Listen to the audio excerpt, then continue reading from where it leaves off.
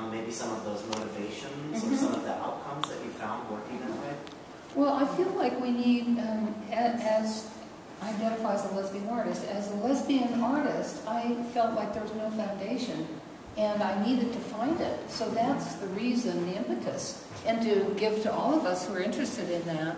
Uh, that's the interest in my historical films, um, Claude Cahun, Alice Austen, um, Elizabeth Bishop, um, bringing all these women who had more reasons to hide than I did um, out of the closet so they could be the ground that we walk on, to know that there were lesbian artists and queer artists building um, uh, work that was relevant to us. Maybe we just needed to go a little deeper to see it, go around a corner, ask a different kind of a question.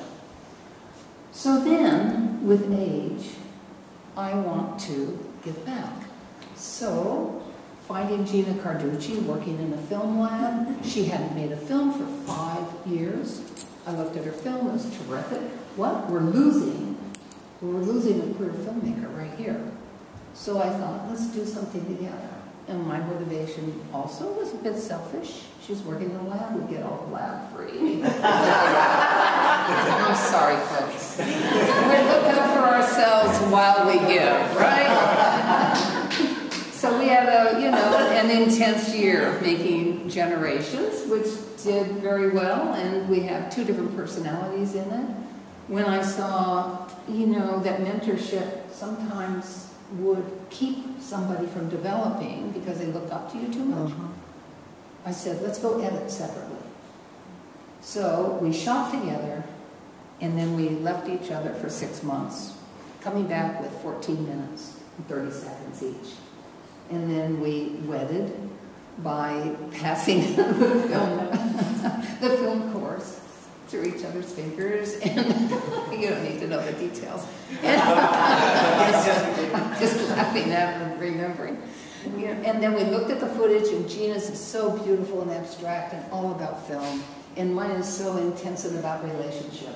I mean, I think there are two of us in every image, you know, and hers you hardly see a person, you know.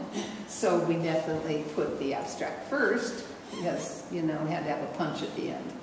So Generations, 30 minutes, and then I just started a new project, and if any of you are interested in it, please let me know. It's called The Living Archive. I started it at a residency upstate New York, and I took in my flatbed into uh, a space and all my outtakes from my films. And then I would pull something out and we'd put on the flat, oh, that was a Halloween parade I shot in the village in 1983. Who wants it? Somebody wanted it. Okay, and then I have, oh, this is a man in a hospital with um, um, a ventilator. Anybody want that, black and white? Somebody wanted it. So each of the six people there took one or two rolls of film and they either digitized it or they scratched and painted, they re-edited, and they made their own films. So they retitled it, but they would say what films from mine came from, and we then had a screening at the end of the month. Um, so I have about 15 boxes of outtakes. they're, they're really quite beautiful, like the um, piece about the hospital and the parade. You have a man in a hospital bed, and then suddenly you have this ghoulish figure in costume coming up to the edge of the bed, you know, and then some text coming on. So it's back and forth between the ghosts visiting this poor guy. Um, and everybody did. Somebody took a roll of film, and she she used her uh, iPhone like this, vertically, and she rolled it out at a lake, Lake Minnewaska, which has huge cliffs, and then the, the film goes over, and then you see her walking, and then it ends with this flash. So it's like a conceptual piece. So all these went together. And so if any of you who know my work, or even want to go to the website and look at little snippets of the work and want to have some footage and make a film from it, let me know which film it is you want. And then I will, in the ensuing spring, as all my health returns, find that footage and get it to you. And then we'll have a screening and get it all together again. Um, so that's another generational, you know, I don't care, you could be my age and still do it. So it doesn't, you know, no restrictions there. But I think it's, it's really um, important and exciting and wonderful to work with peoples of all preferences, all generations, all, I mean, too often we're in our own little safe world, aren't we, of people just like us. So, I um, delight in meeting difference. Jim? You know, Barbara, your work is so critically important. And sometimes you walk away from it. You know, and I just want to say, as a gay man, your work in the 70s was extraordinary and it was specific. And I can remember being in a room full of women watching all of them for the first time that mirror film and feeling like a spy on the wall, but the excitement that was, you could feel in the room, the sense of discovery that your work brought to them.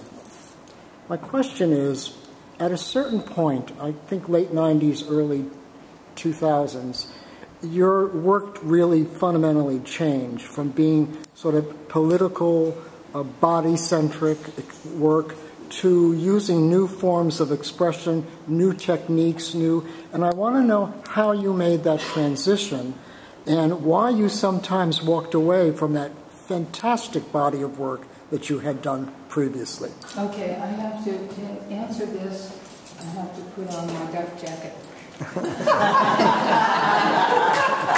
Okay, Jim. I never, I never really walked away. And if I could rap, I would. Because I'm going to tell you that I'm just as strong and good as I would be in the 70s, in the 80s, in the 90s, and the aughts. I'm right here and I am hot.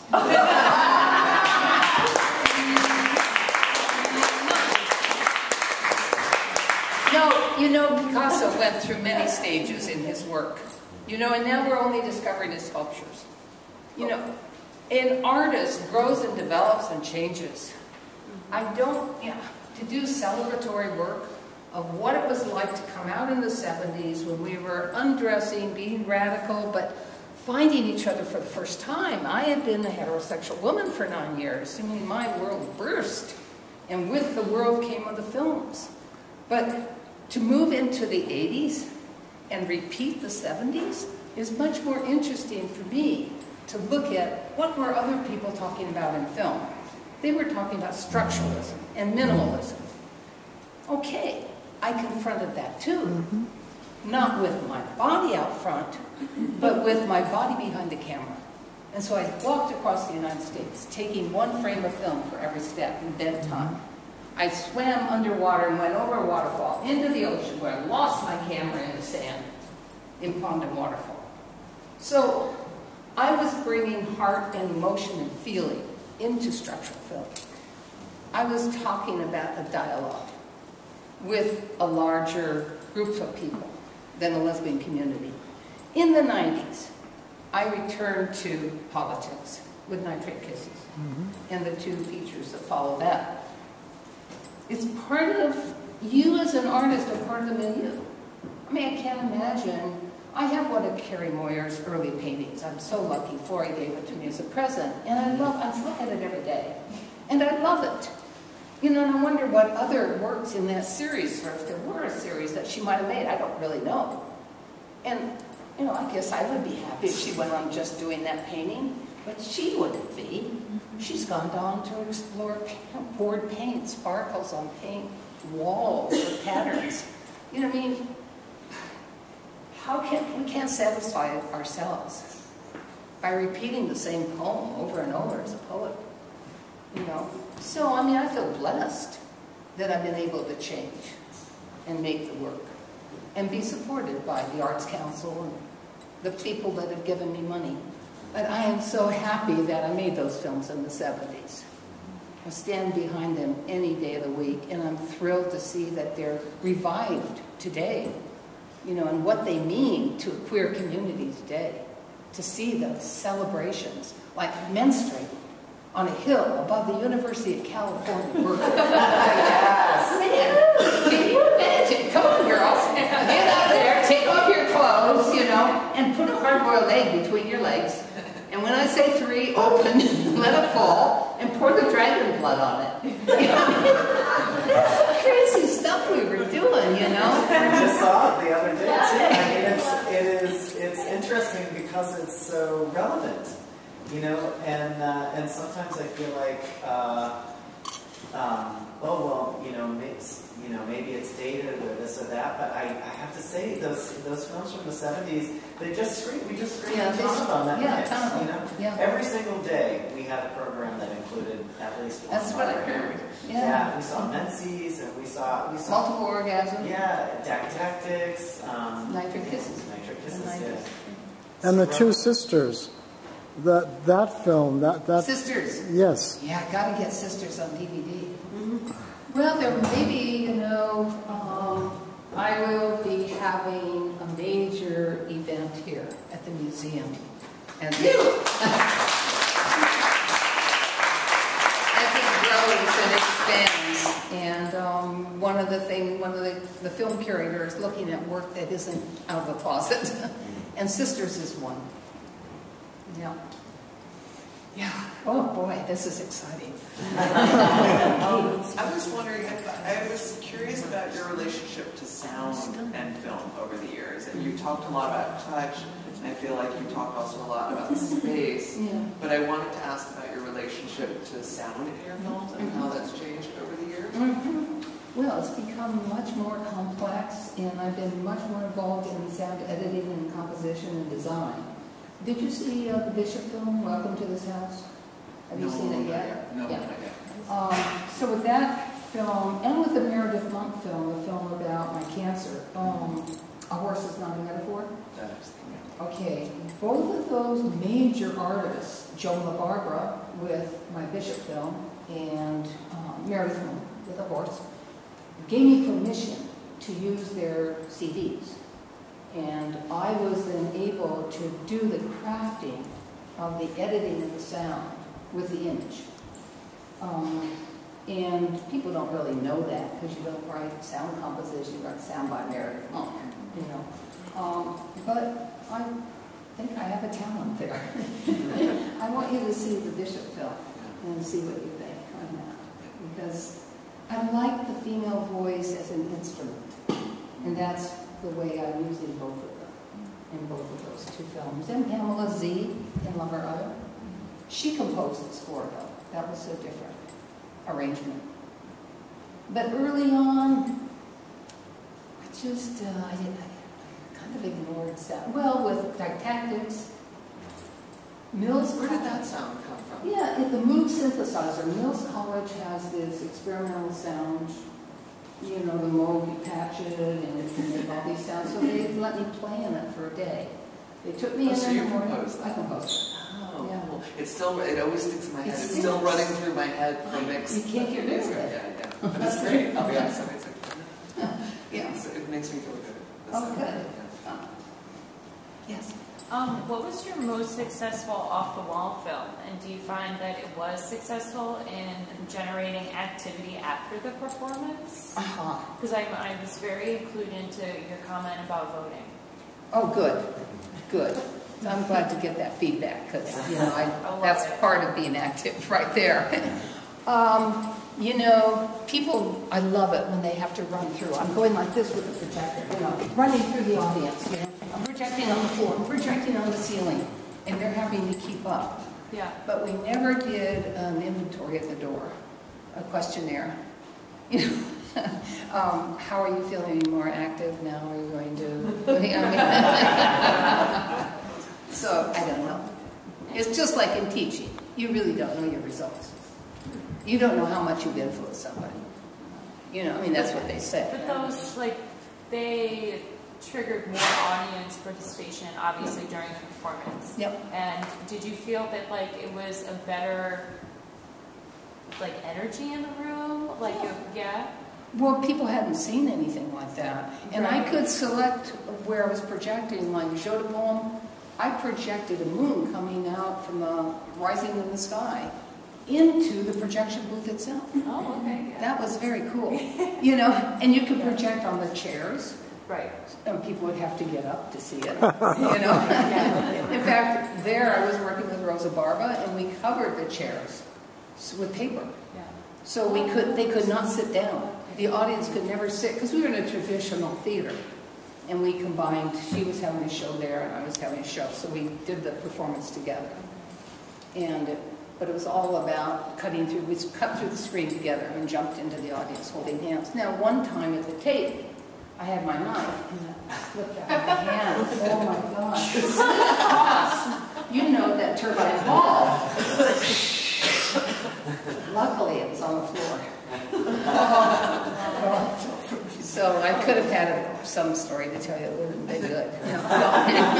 It's not performance piece. I, I also I also wanted to ask about um, your participation in the 1993 Whitney Biennial. Like, can you explain like your experience? Was it a positive one? That was the, boot that was a good biennial. Yeah, it was Because, fantastic. that was a fantastic. Were you there? no, I wasn't. I was like alive, but barely. Yeah, Martha Rosler, that was I was totally there in spirit, though. There were white hairs in the audience, I mean, in the group. There were white hair artists, there were artists of color, there were feminist artists, there were queer artists. You know, there's a ton of queer artists in our biennial we just had as well. And we felt recognized, we felt Good. part, Good. finally, of this mm-hmm. mythical art world that we tried to be part of. We've been knocking on the door.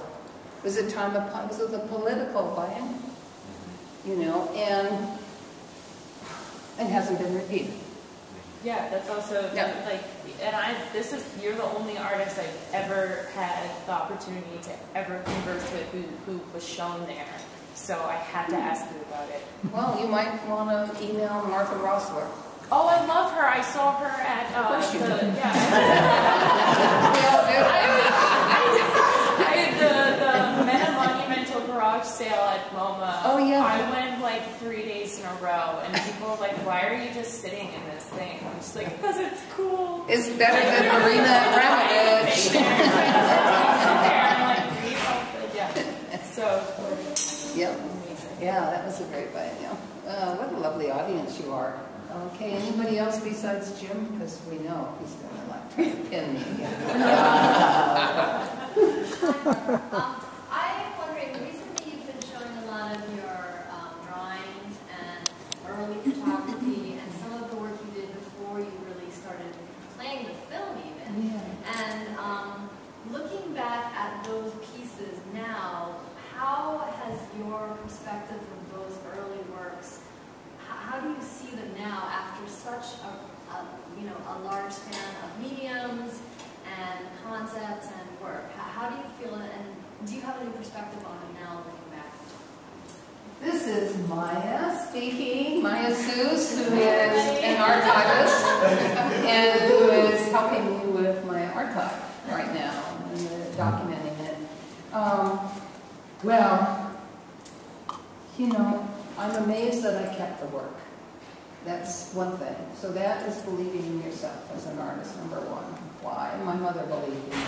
So why would not believe in myself? That's really my secret, if there's a secret. Um, secondly is, why did that curator select that and not that? I have no idea. because I would have chosen, if I were self-curating, maybe I would have put up other work, like the psychedelic work that I was doing during um, a drug period. Uh, and um, I don't feel attached to them. I'm glad that I know who's purchased them and where they are. Um, there's more to be had. And, you know, I'm hoping to have a show in Germany about this other psychedelic work uh, and other work that wasn't fitting into that one gallery show.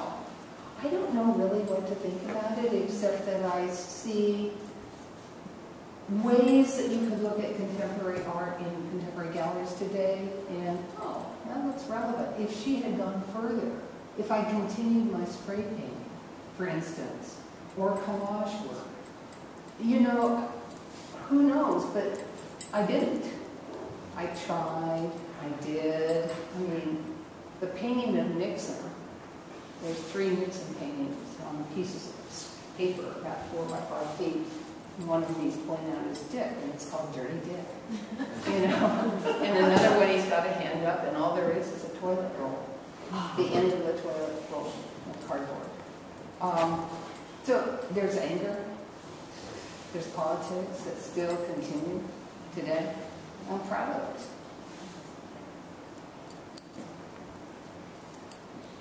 So the last question is going here. Carrie.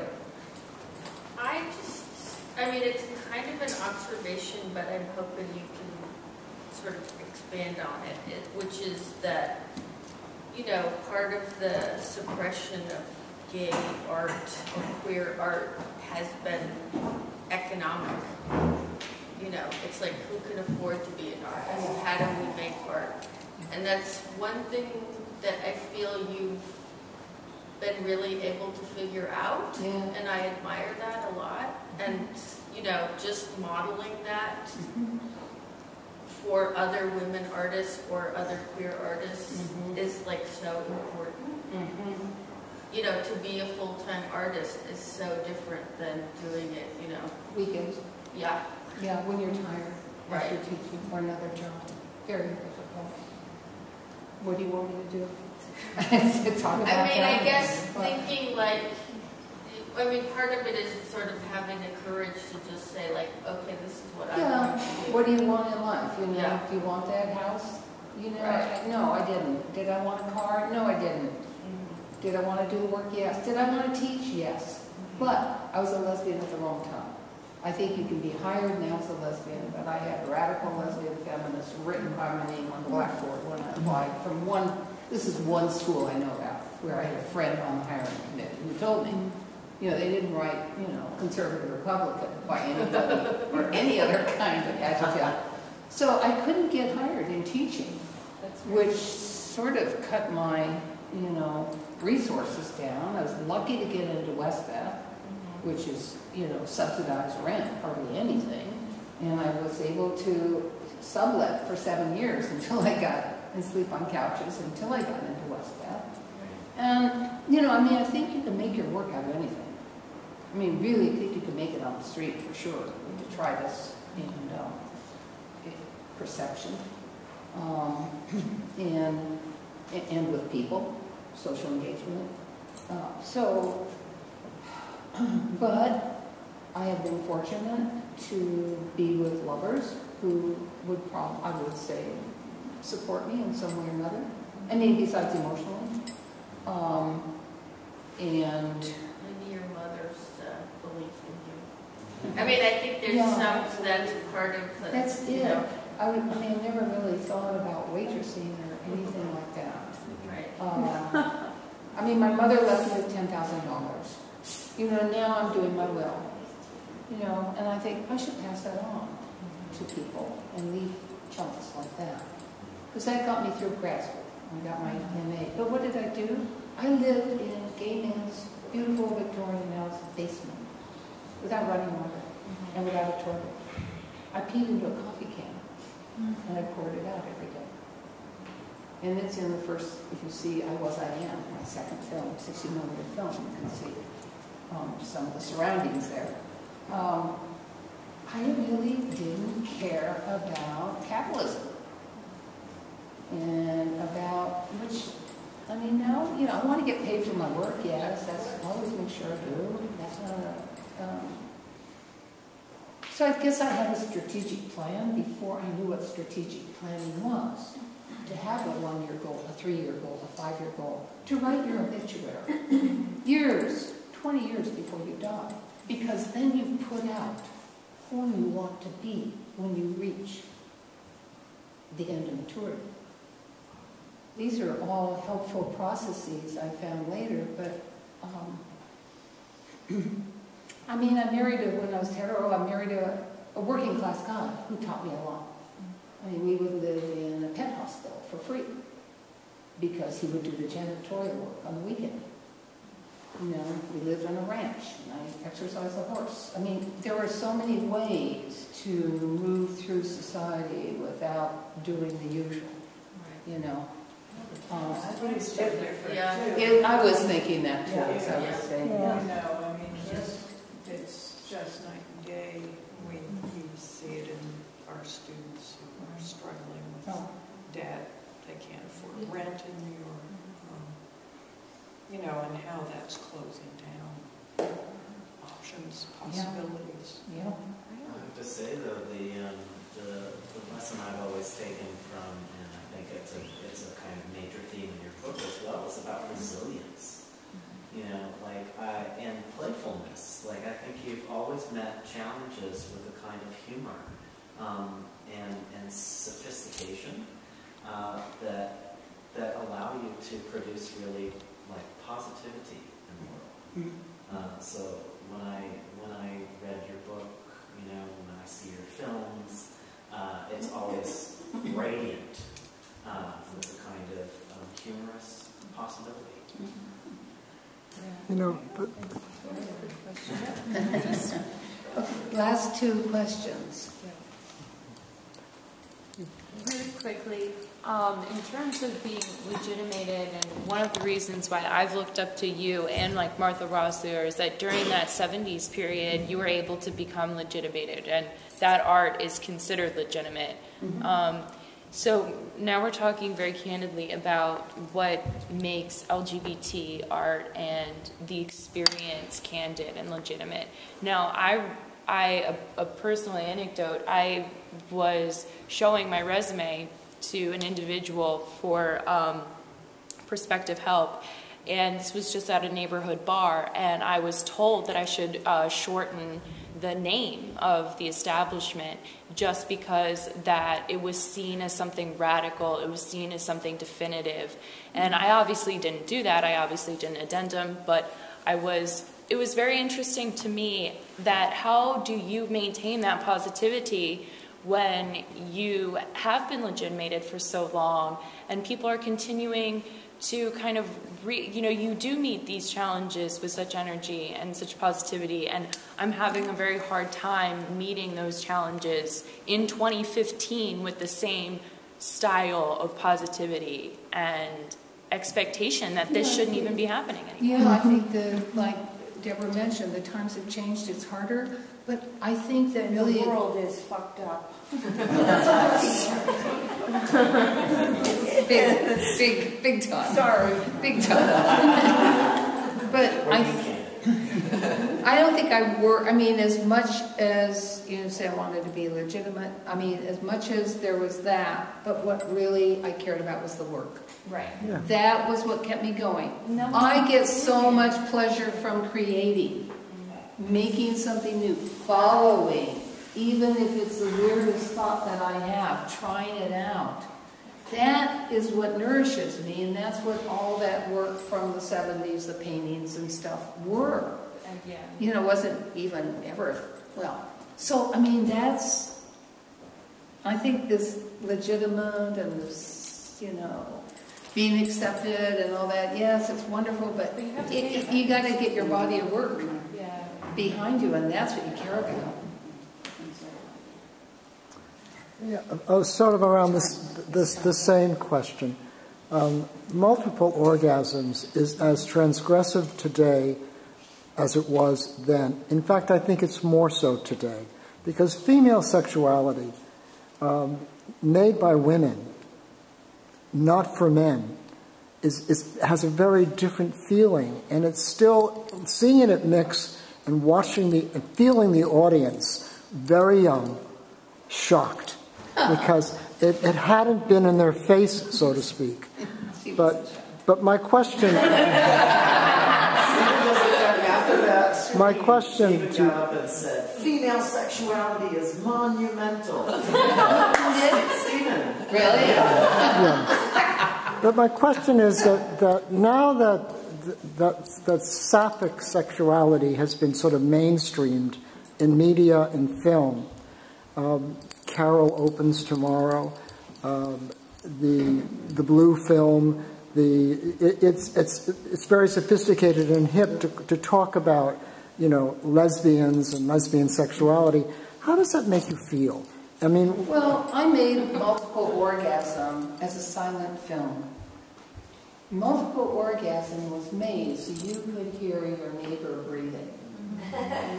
So far, no matter when it was shown, 1976 when it was made, or yesterday at Mix, everyone holds their breath still. so, I have not